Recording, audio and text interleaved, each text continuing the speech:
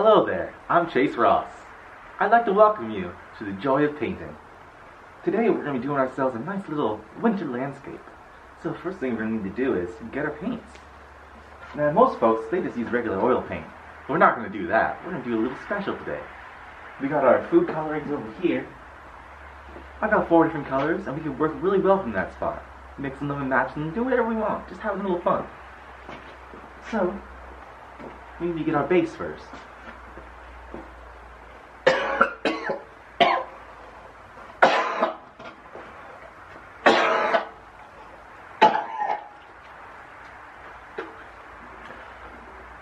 There we go. That's a great start.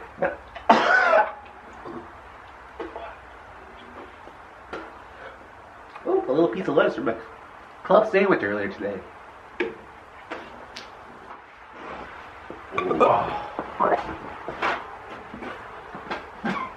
You know, I just added, Huh? there you go. My good friend Chris helped me out getting some more puke, so we have a nice firm base to work with. You can see the fish from his breakfast earlier. All kinds of good little chunks in there. So I think, to begin, I'm going to work with a nice blue, and we'll go from there. Right in there. A whole bunch. Just go nuts with it if you want to. You can do as much as you like.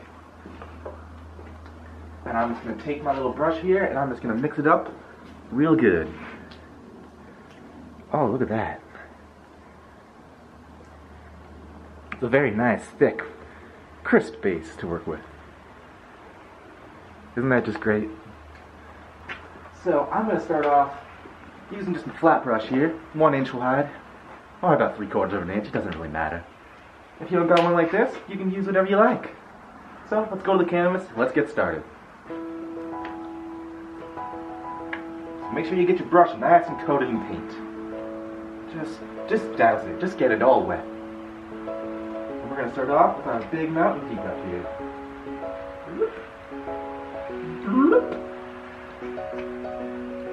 You really want to get it on there too. You want to get it nice and wet. Now this is a non-traditional style of painting that most people don't really do. Myself, I've never been too big a fan of oils. I don't like the smell. And working with that nasty old paint thinner and varnish and stuff, it's not my taste. So that's great. We got the start of our peak over here. Let's just add a little guy on this side too. Why not? Whoop. Whoop. There. Perfect. That looks great. Now we're just gonna pull those down just to create some more little peaks.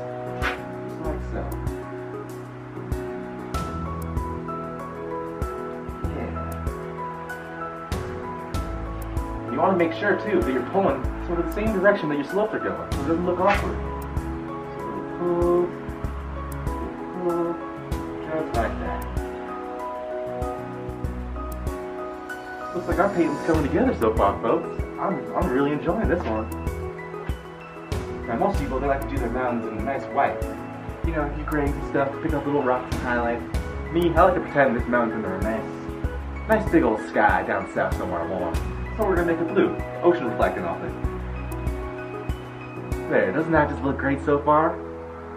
Well, I think we're done with our blue for now, so we're gonna mix up another color. I think I'm gonna go with, I'm gonna go with a nice green, just to throw things up in the air. Oh, spilled some of the paint there. We're not going to use too much green actually, so we'll put in one of the little smaller size here. Oh, there's that chunk of fish. So now we're to make sure our brush is nice and clean, so I'm just to go over here. I'm just to beat the devil out of it. Get rid of most of that blue from before. If you get a little bit mixed in, that's alright. Now I think I'm to add some greenery down in the foreground here. Maybe some nice big old trees.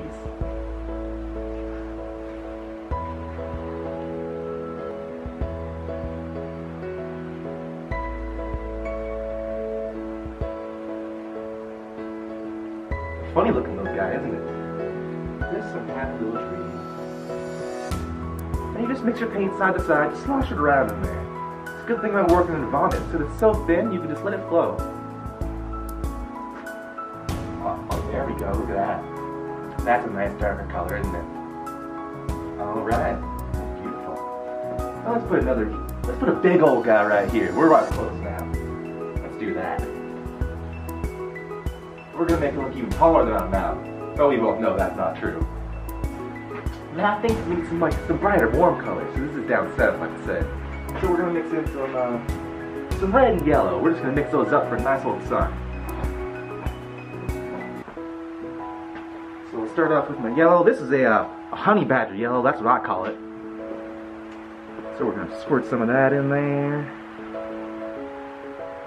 This is some nice crimson. All right.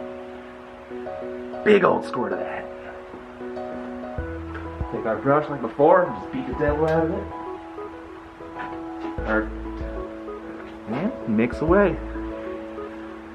Oh, look at that. That red really overpowered the yellow. That's fine though. So now, I'm going to use the fan brush. This big old guy here. We're just going to start, start making that sky look pretty.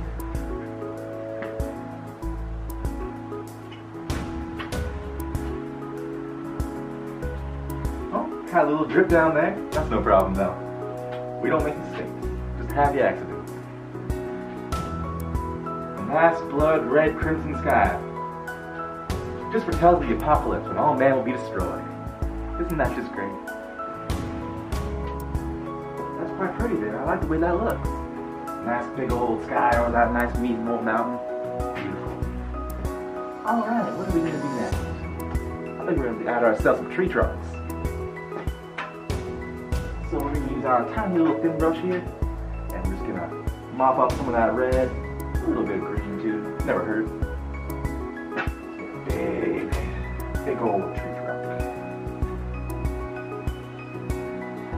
Then we'll make one over here for this guy too. And you can tell you're doing a really good wet on wet painting when you have nice little running streaks like that right there just to fill in. And now I think we're gonna make ourselves some nice reflected water down here. So I'm gonna grab my two inch brush, and then we're just gonna do a simple little trick. We're just gonna whoop,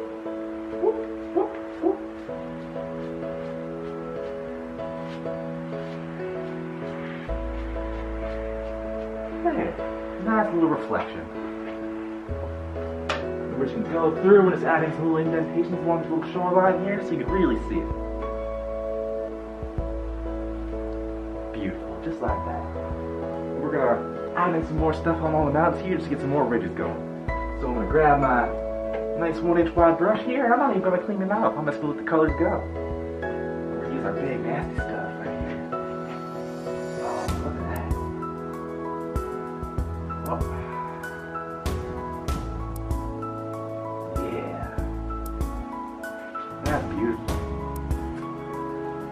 We're just gonna add ourselves in some sticks on our trees. So for that, you're gonna pull out that knife you carry around and keep those mean old muggers away, and you're just gonna start making little indentations in it.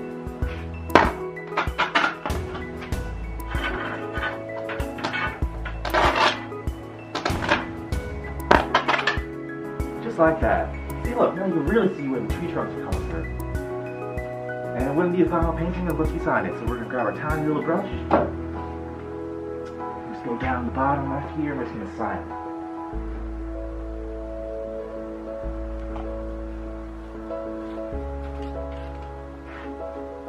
There we go. I want to thank you all for inviting me into your homes. I hope to see you again real soon. Take care now.